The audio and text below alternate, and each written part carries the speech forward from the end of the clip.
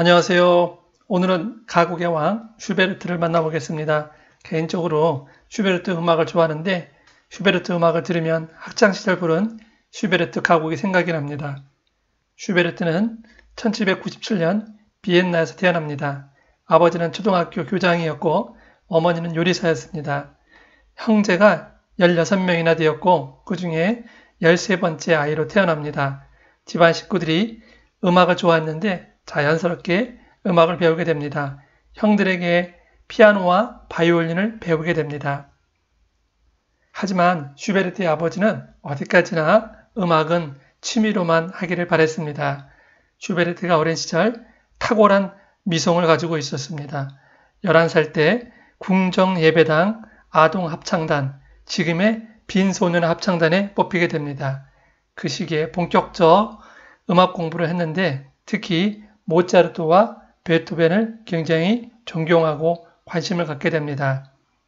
학창 시절 궁정 오르간 연주자인 안토니오 살리에리로부터 음악 공부를 했고 학교 오케스트라 제1바이올린 연주를 담당하기도 했습니다. 탁월한 미성으로 독창에 나가면 큰 인기를 끌었습니다. 하지만 사춘기 이후 미성이 사라지고 맙니다.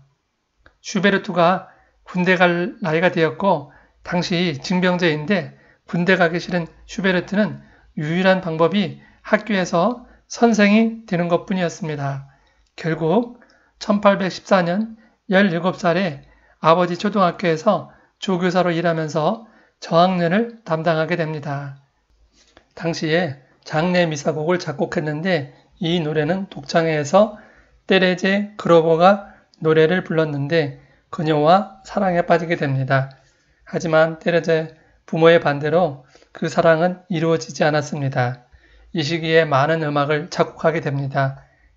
1815년 18살에 무려 145개의 가곡과 2개의 교향곡을 작곡했습니다. 이때 작곡한 대표곡이 괴테의 시를 곡으로 만든 들장미 가곡입니다. 슈베르트의 주변 친구들이 슈베르티아데를 조직하여 슈베르트 음악 활동을 어, 도와주게 됩니다.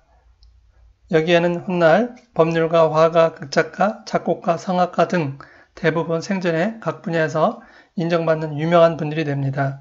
당시 슈베르트 별명이 Schwammerl이라 불렀는데 오스트리아에서 나오는 버섯입니다. 슈베르트가 키가 156 정도라서 붙여진 이름입니다. 우리말로 해석하면 버섯돌이입니다. 슈베르트는 아버지와 대립으로 교사 생활을 그만두고 빈에 와서 친구 프란츠 폰 쇼버와 함께 살면서 작곡을 열중하게 됩니다. 쇼버 동생이 외국에서 오자 결국 집으로 돌아옵니다. 1818년경에는 친구들의 도움으로 개인 레슨을 하면서 여기저기 옮겨 다니면서 살게 됩니다. 슈베르트 1819년 22살에 그 해 여름날 유능한 성악가 미하엘 포글과 오스트리아 서북부를 여행을 하게 됩니다.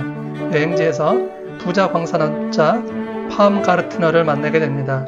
음악을 좋아했던 그가 첼로 연주할 만한 곡을 만들어 달라 제안을 해서 먼저 만든 곡을 변주곡으로 해서 피아노 5중주 4악장 송호가 나옵니다. 1820년 23살에 사랑하는 테레제와 헤어지게 되는데 친구인 프란츠 쇼버가 선물로 매춘부를 소개하여 매독에 걸리게 됩니다. 1822년 25살에 작곡한 마왕의 판권을 슈베르트를 존경한 귀족이 2,000굴덴에 비싼 값에 사주었습니다. 당시 2,000굴덴이면 공무원 1년 연봉 정도 되는 큰 금액이었습니다. 그 돈으로 피아노를 처음 사게 됩니다. 그동안 슈베르트는 많은 곡을 피아노 없이 머릿속 생각으로 작곡했다고 합니다. 또한 친구가 배고프고 생활비가 없으면 아낌없이 도와주는 의리 있는 친구였습니다. 1823년 27살에 슈베르트는 밀러의 시를 읽고 감명을 받아 연가곡집 아름다운 물박한 처녀를 작곡하였고 가곡 방랑자도 이때 작곡합니다. 1827년 30살에 슈베르트는 경제적으로 어려움과 음악가로서 성공하지 못한 상태에서 자신의 죽음을 이어다듯 겨울 나그네 24곡을 작곡합니다. 주인공이 사랑하는 여인과 이별하고 쓸쓸한 겨울 여행을 하게 됩니다. 여행하기 전 그녀의 집에 찾아가 이야기합니다. 그대의 잠을 깨우지 않고 나 혼자 떠나갑니다. 이렇게 시작하는 게 겨울 나그네입니다. 겨울 나그네 안에 다섯 번째 음악이 보리수가 들어 있습니다.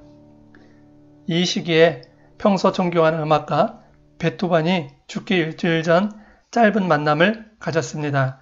그렇게 존경하는 음악가 베토벤 근처에 살면서 용기가 없어서 찾아가지를 못했습니다.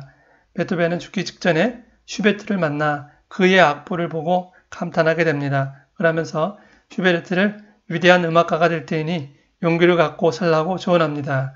슈베르트는 자신의 존경하는 음악가 베토벤이 상태가 심각한 걸 깨닫고 마음이 아파서 그 자리를 뜨게 됩니다. 그것이 처음이자 마지막 만남이었습니다. 이 시기에 아버지와의 관계도 호전이 되어 아들이 작곡가가 되는 것을 반대하지 않고 화해를 하게 됩니다. 하지만 베토벤이 죽고 나서 얼마 안 가서 슈베르트는 병에 걸리게 되었고 요양 치료를 하게 됩니다. 하지만 병은 더욱더 악화가 됩니다.